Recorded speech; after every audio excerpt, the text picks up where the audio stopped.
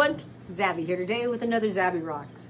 Today we're just going to demonstrate this easy carbon technique that we can transfer any picture you like onto a canvas, which is such an upgrade from paper for the students to use.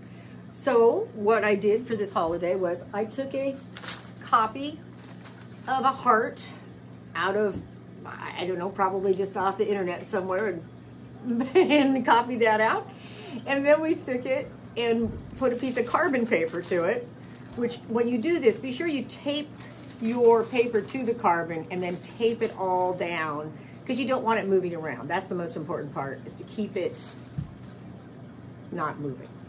So then you just tape it down, you take your pencil and you trace it out. And I'll show you that in just a moment, a finished one.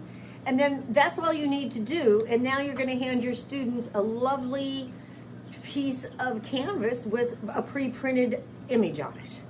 Um, and then we, for this project, we used acrylic paints. They were pretty good.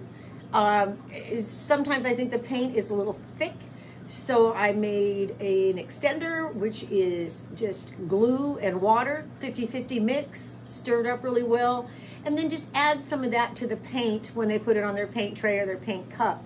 And it makes it go further and it, it just paints easier. It gives it a much nicer flow. And that's good for our younger group, I think. Um, so that's what we did. We ended up with a project that, here's one that's almost finished. Lovely job by James. Um, and there you have it. You could do this with any picture for any holiday or for any reason.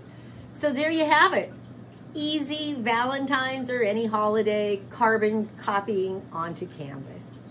All right, everyone, give it a try. Thank you. Please give me a like and subscribe.